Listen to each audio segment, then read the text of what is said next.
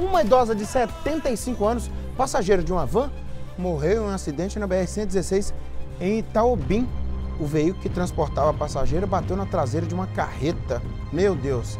Deixa eu chamar o Fantoni Pes. Ê, Fantoni, essa rodovia também, Fantoni. Uma idosa perdeu a vida aí. Que tragédia, hein, rapaz? É, Nicomedes, e a Polícia Rodoviária Federal começou um estudo minucioso a respeito desse acidente. O que, que aconteceu? O veículo transportava a passageira e não se sabe ainda por que circunstância já havia um automóvel, ah, um caminhão parado sobre a pista.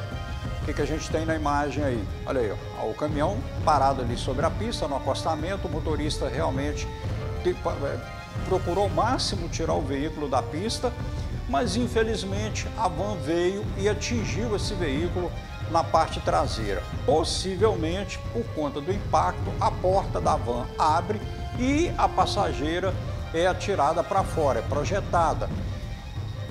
Ela teve morte no local, foi levada para o IML lá de Pedra Azul e agora a polícia quer saber o seguinte: bom, o, pelo que eu só observa, o motorista cumpriu ali, a gente está em dúvida se havia uma sinalização prévia ali para trás, não dá para ver na imagem aí, se havia uma sinalização de que o veículo estivesse danificado e, e isso orienta os motoristas. Depois saber por que essa van bateu na traseira, por que, que a porta abriu, por que, que essa passageira foi projetada. Ah, então a passageira não estava usando cinto? Se ela foi projetada, estava ou não usando cinto. Essa van que transportava essa passageira, qual era a condição dela? Ela estava de carona, esse veículo estava fazendo transporte, então muitas perguntas, Nicomedes, a respeito desses acidentes precisam ser respondidas. A Polícia Rodoviária Federal tem um prazo aí em torno de 72 horas para emitir o seu relatório e a partir daí começa a investigação da Polícia Civil e também das demais autoridades em relação a esse veículo.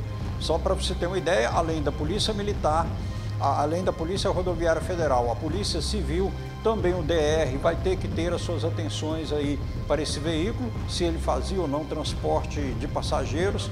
E a recomendação, Nicomedes, enquanto tu, todas essas respostas aparecem, todas essas perguntas são respondidas, importante, passageiro dentro do veículo tem que usar cinto Cinto de segurança não é exclusividade do motorista. Então todos os passageiros têm que utilizar. Se está no automóvel, principalmente o pessoal do banco de trás, ah, porque o motorista ele olha para frente, ele não olha para trás.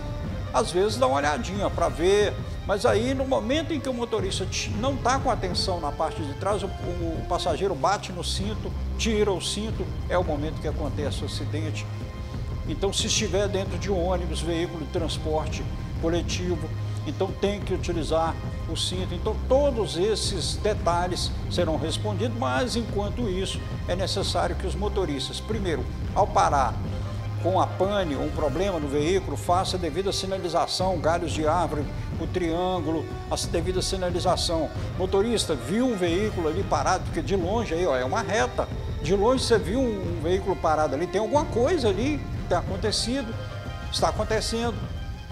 Todos esses fatores são importantes da direção, da direção defensiva, são importantes para evitar acidente e nossos sentimentos à família pela morte dessa idosa de 75 anos, né, Comédios?